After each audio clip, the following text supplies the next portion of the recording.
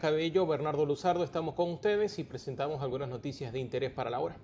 Así es, nosotros avanzamos con información, de inmediato comenzamos. El presidente del Partido Socialista Unido de Venezuela, Diosdado Cabello, indicó que la iglesia ha perdido presencia en diversos ámbitos de Venezuela sostuvo que la jerarquía eclesiástica ha adoptado un comportamiento político partidista. El primer vicepresidente del Partido Socialista Unido de Venezuela, Diosdado Cabello, aseveró este miércoles que la Iglesia Católica de Venezuela ha perdido presencia en los barrios, en los pueblos, los cuarteles y las cárceles. Durante su programa con el Mazo Dando, transmitido por VTV venezolana de televisión, sostuvo que la jerarquía eclesiástica ha adoptado un comportamiento partidista de tomar parte de un sector si ustedes fuesen verdaderamente independientes, que critiquen una situación, está bien la crítica, pero no vayan a criticar para favorecer a un sector. Eso es inmoral, he leído textualmente. Más información en globovision.com. Y este jueves, luego de las 11 de la mañana, se espera que la Asamblea Nacional sesione en el hemiciclo protocolar y hay mucha atención en cuanto a este tema porque se va a nombrar una embajadora, o eso es lo que se espera, considerar el informe presentado por la Comisión Permanente de Política Exterior, Soberanía e Integración para designar a la ciudadana Coromoto Godoy Calderón como embajadora de la República Bolivariana de Venezuela ante el Reino de España. Una noticia que desde que se anunció pues ha generado desde luego debate político en el país eh, y este jueves a las 11 y 30 de la mañana es el primer punto en la agenda del día para la Asamblea Nacional. En otras informaciones, usuarios del ferrocarril Valles del Tuy siguen reportando retrasos en el sistema. Durante toda la semana, principalmente en las horas de mayor afluencia, los pasajeros esperan hasta 40 minutos por un tren más la hora de recorrido que puede gastar entre Caracas y Cuba. Hasta el momento, autoridades del IFE no han explicado las razones de estos contratiempos. Vamos ahora a Táchira. Allí está nuestra compañera Francis Gámez, la famosa feria de San Sebastián, a la que por cierto ha ido una parte del equipo de Globovisión para traerlo como de costumbre, como lo hacemos cada año. Francis está con nosotros en vivo. Buenos días.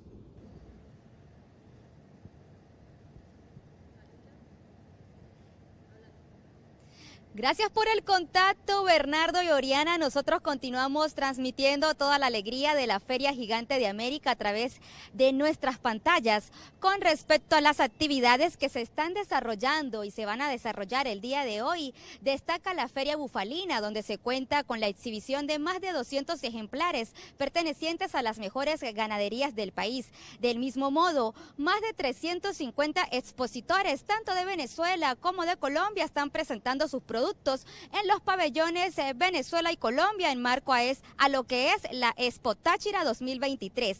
Del mismo modo, en este momento los tachirenses están disfrutando de la emoción de la Vuelta a Táchira, específicamente la etapa número 5 que tuvo como punto de partida la tendida y culminará en la grita, la tierra del Cristo del rostro sereno. En la noche, a partir de las 7, se estará llevando a cabo la serenata en honor al patrono de los san cristobalenses, San Sebastián. Se van a estar presentando grupos de danza, grupos de música. Se contará con la participación de la Escuela de Equitación del Estado Táchira y del mismo modo la participación especial de Raniero Pan, un reconocido productor musical san cristobalense que ha ganado cinco premios Grammy Latino. Amigos de Globovisión, esta es la información que nosotros tenemos hasta el momento, la cual estaremos ampliando en cada una de las emisiones a través de nuestra transmisión especial.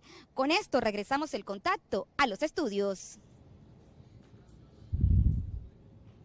Gracias Francis por esta información. Ahora nosotros nos quedamos en Táchira, pero para compartir con ustedes información en materia deportiva con nuestro compañero Jonathan Escalante, quien nos trae información sobre la vuelta al Táchira.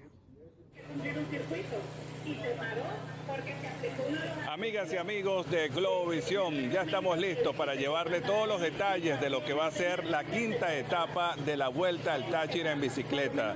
Un evento que comenzó ya hace algunos días y que ha deparado muchísimas emociones, sobre todo en las primeras de cambio, en las primeras etapas de esta edición 58, porque hemos visto ganadores diferentes en cada una de las etapas, pero la gran rivalidad y el gran esfuerzo comenzó el día de ayer ayer en la etapa número 4 y el día de hoy también, porque la gran montaña se presenta para la exigencia máxima de los pedalistas que hacen vida en esta edición 58. Hemos visto además una generación de relevo de pedalistas que toman el mando ahora y demuestran con sus equipos toda su calidad en esta edición 58 de la Vuelta al Táchira. El día de hoy habrá una jornada realmente exigente, una etapa número 5 de 134.4 kilómetros que llevará desde la Plaza Bolívar de la Tendida hasta la Grita.